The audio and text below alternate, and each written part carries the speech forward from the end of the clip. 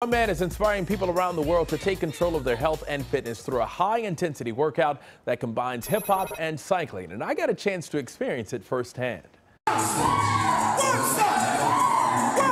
Known for his signature moves and his untraditional, one of a kind style of teaching.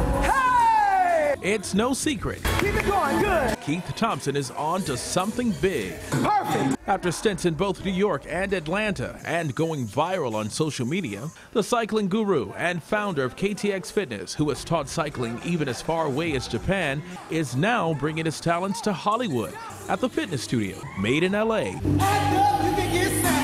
Thompson uses a combination of hip hop dance moves and high intensity workouts involving all four limbs to make sure his clients rock the bike. It'll have anyone sweating profusely and riding along to the beat.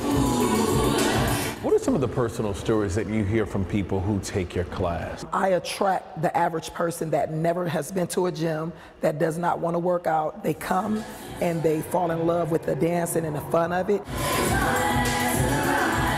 So you lure them in with hip hop, R&B, you name it, and then you get them sold. I got them. Like I said, I'm just a free spirit. Anything goes, and most average spin classes, they're structured. KTX Fitness is not structured at all. Thompson wasn't always this active. At one point, he weighed 300 pounds. He started cycling, and the pounds began to come off. That was the most thing that I struggled with was my weight, but I, I'm not where I want to be, but I'm still a work in progress. That's his mission, to get people up and moving in an effort to stay healthy regardless of size or age. I'm 76 years old. Wow.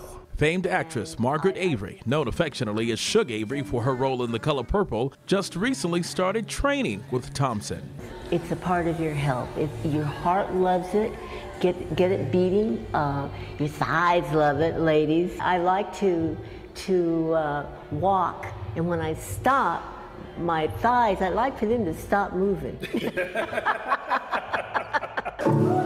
And it's not just a good workout for the ladies. Fellas, you can join in too, as I did.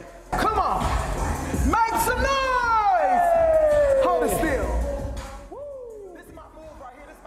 Oh, I got to tell you, he is absolutely amazing. He had been trying to reach out to me in Atlanta and New York, and I said, you know what? Now that he's in LA, I uh-huh. got to do a story Gotta on this guy it. because what he's doing is so important because he's getting people to move and, and, and enjoy it, even if it's through music. And I love that he's been there. He knows what it's like to mm-hmm. struggle with weight, so he's not just preaching, he's experienced it. yeah. And it's fun. Yeah. I love his dancing. energy, and I love that he's his own success story too. Yeah. Yeah. Awesome.